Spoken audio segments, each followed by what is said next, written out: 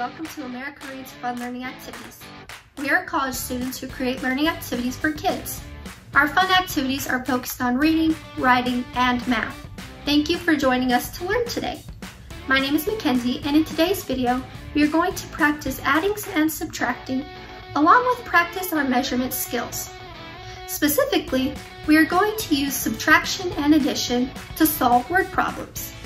When we solve word problems, we must look at the unit of measurements. So what is a unit? This is how something is measured and it is the amount of something. For instance, we measure things in pounds, feet, inches, dollars, cents, and more. We are going to do this today by doing a robot activity. First, we are going to create our own robot by measuring out different sizes of pieces. Then, we are going to answer some word problems about our robot. So let's get to it. For this activity, you're going to need different colored construction paper. I have four different colors, but you can use all the same color if you'd like. You are also going to need a large white sheet of paper to glue your robot on at the end, some glue, scissors, a pen for writing, markers to decorate your robot, a pencil to write your answers at the end, and lastly, a ruler. Here I have the sheet with some measurements for our robot. We are going to create a head that is 3 inches tall and 3 inches wide, a body that is 5 inches tall and 4 inches wide, legs that are 6 inches tall and 1 inch wide, an arm that is 5 inches tall and 1 inch wide. We're going to use this for our measurements. Take out a sheet of construction paper. We are first going to create the body. It is 5 inches tall and 4 inches wide. Then take out your ruler. First, let's do the height. It says that it is 5 inches tall.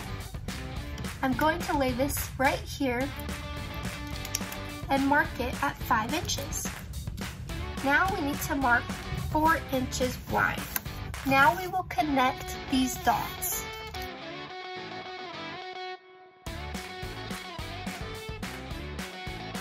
After you have it marked, go ahead and cut it out. Make sure to ask an adult for help and use the scissors safely. Here is the body. Set it to the side for later. Now we are going to create the head. It is 3 inches tall and 3 inches wide. Let's use our ruler. We are going to mark 3 inches across for the width. Now we are going to draw another dot for 3 inches tall and connect these. Again, we're going to cut out the head, making sure to be careful and asking an adult for help. Set this aside with the body. We are also going to use this leftovers to create a small little square for the neck. It doesn't matter how big it is. You can create it however you'd like. Something like this. Next, we are going to create the legs.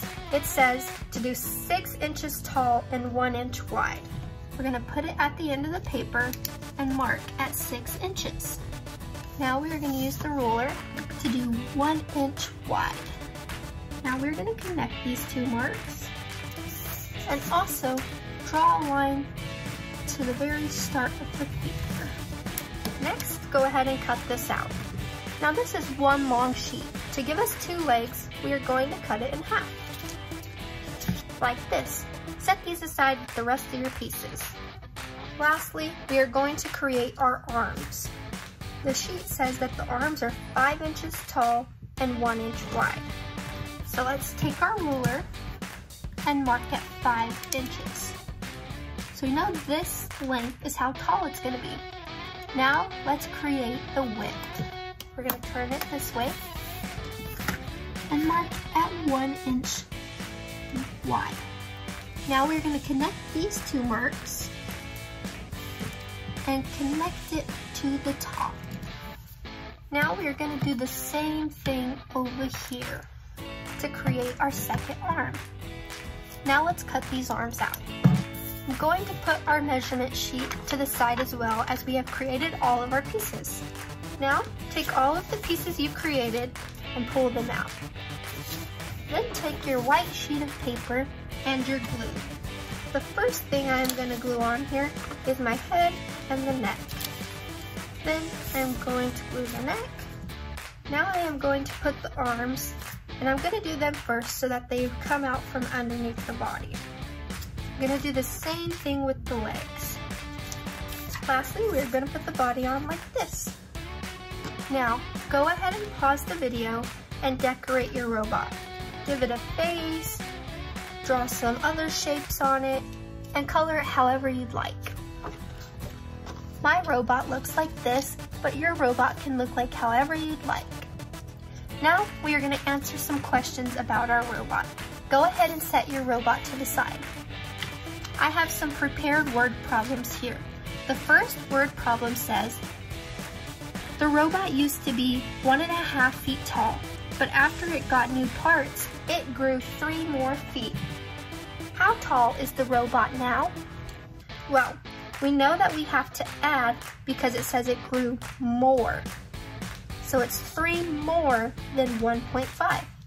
So to solve this problem, we are going to do 1.5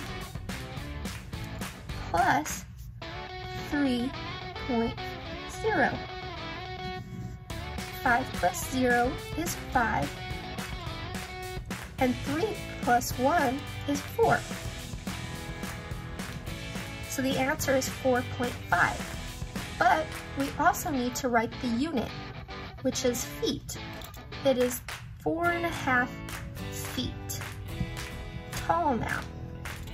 The next question says, the iron for the robot parts used to cost $5.45 per sheet, but there is currently a $2 off discount.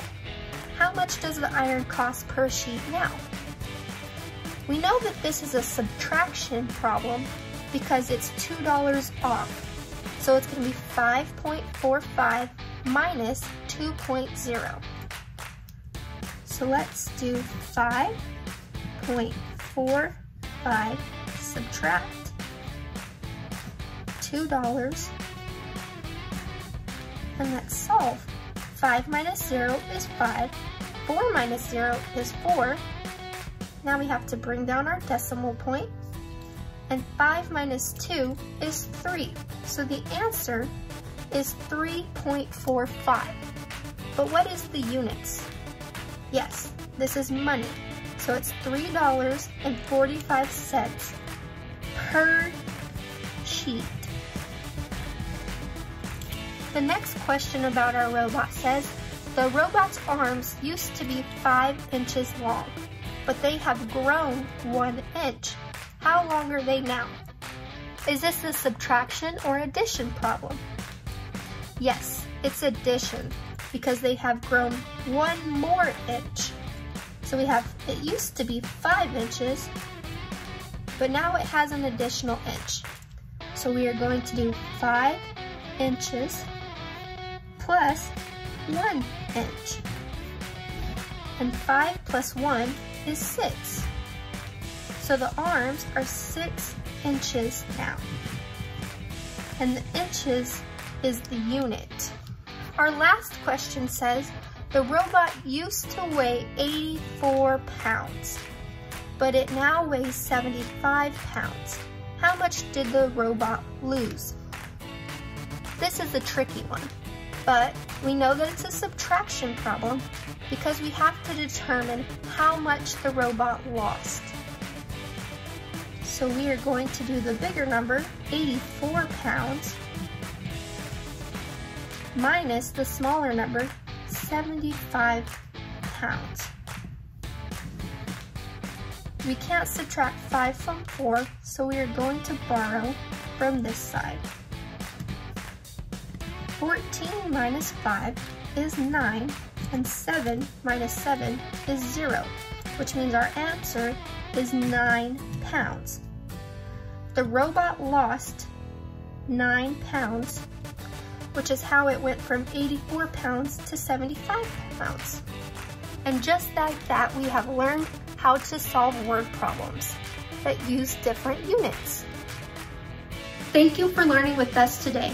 We hope you come back and learn some more. Please like and subscribe to our channel and we will be back with more fun videos.